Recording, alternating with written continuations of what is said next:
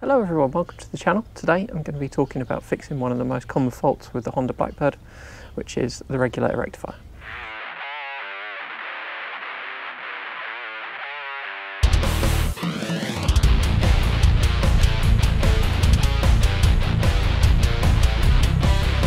If you're new here, my name's Sarah. I post motorcycle related content on YouTube every Friday.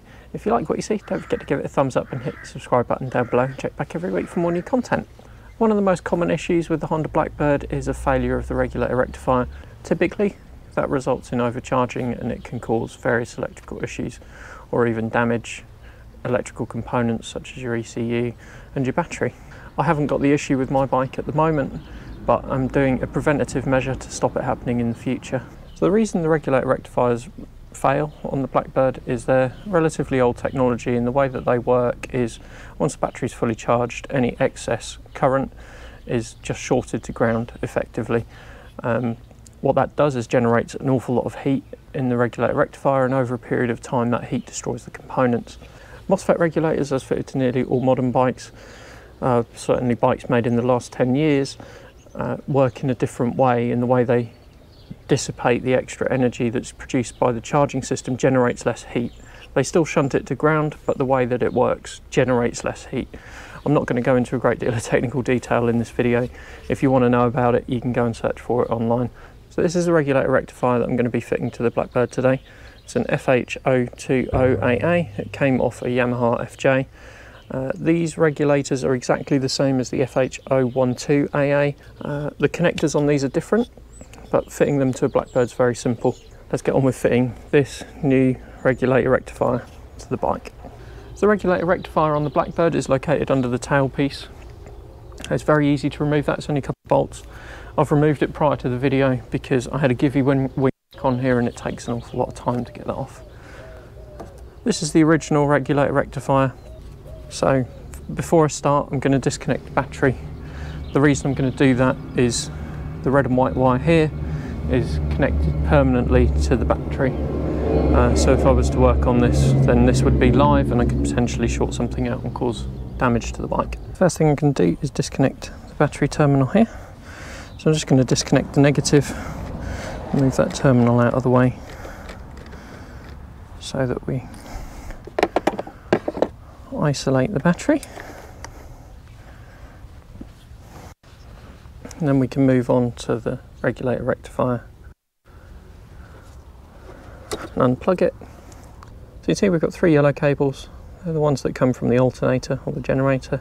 That's three phase AC and the voltage varies depending on the RPM of the engine. And then on the other side of the connector we've got a red and a white and a green.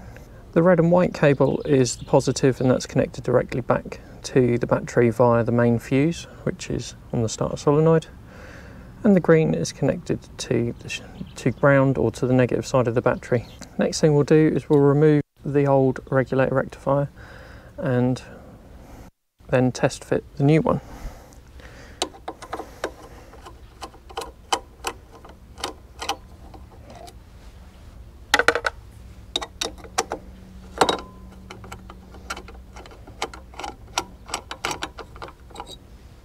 With the new regulator rectifier, it's a little bit thicker where it bolts onto the frame.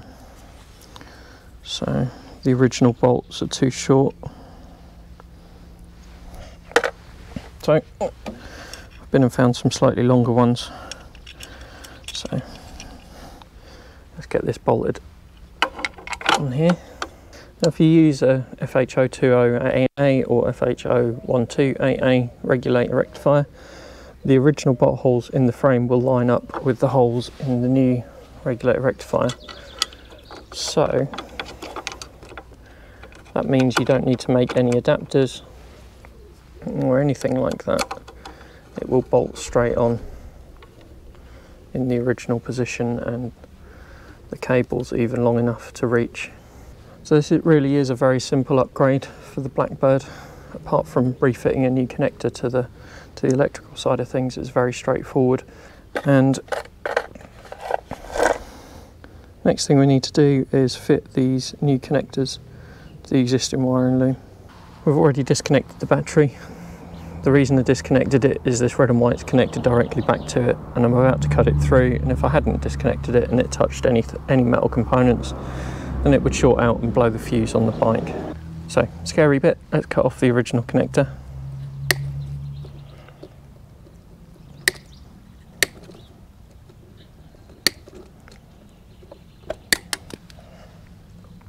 So now we have our bare wires so I'm just going to strip some of this insulation back so that we can terminate the cables well. I'm just going to take a knife and very carefully slice through that without damaging the cables underneath.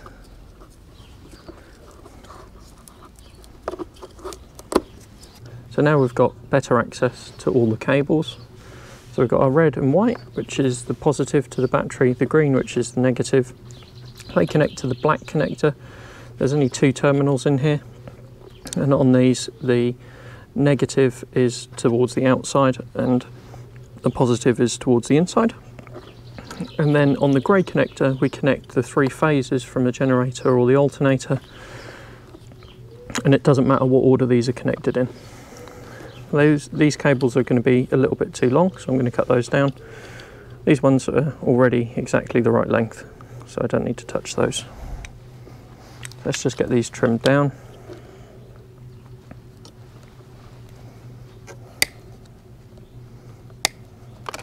And what we'll do is we'll fit the terminals to these and then fit the connectors.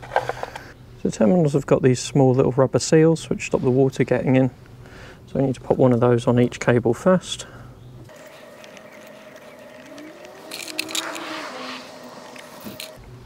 And then these are our terminals or new terminals which are designed to be crimped onto the cable and I am only going to crimp them, I'm not going to solder them. There's lots of arguments against soldering terminals on motorcycles and cars. Um, I'm not going to go into that in this video. If you'd like to see more about it you can check it out on Google. But generally it's a bad idea to solder terminals on a bike or a car because the vibration can cause cracking. So to crimp these, ideally you need a proper crimp tool. These are pretty cheap to buy. I think this one was £15 off Wish and it comes with lots of different dies to suit. So let's get our cable ends stripped.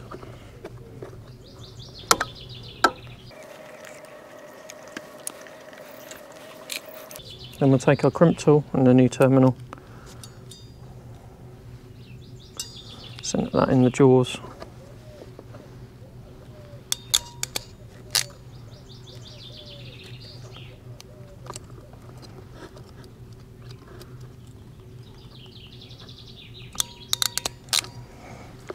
And that will make off our nice new terminal. You can see with these proper crimp tools you get a nice professional crimp. So that's those two done. Just move those out of the way. Then we'll deal with our inputs.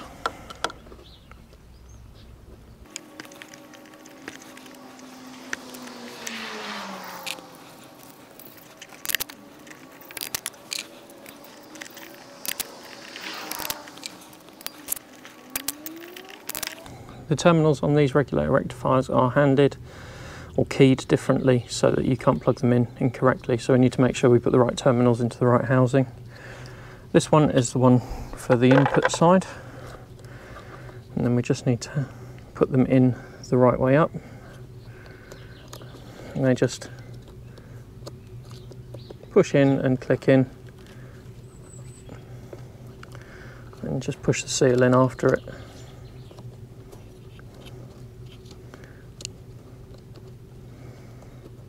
These all in here.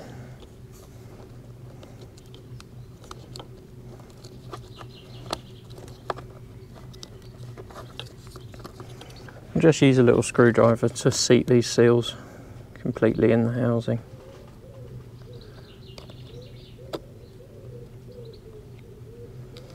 And the seals will keep the water and the dirt out. You can do exactly the same with the output, this time making sure that we get them the right way around so the connector goes on that, that way round. So our Green needs to go in this side, which is our ground, and our positive goes towards the middle of the rectifier. And then again, pops the seals in.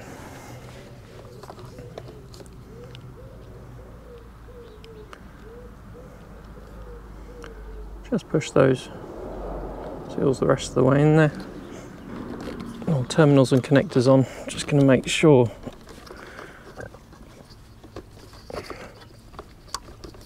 we fit them properly. The connectors are very tight onto the body, uh, so you do need to make sure you get them on all the way because they will feel like they're on when they're only halfway on. They push up nearly flush with the body. So they feel like they're on there, but actually go quite a bit further than that. So there we go, that's all connected now. So we'll just reconnect the battery. So I've reconnected the battery. We've got 12.8 volts. So I'm just going to start the bike up and then check the voltage on the battery. It should be between 13.5 and 14.5 volts. So let's see what we get.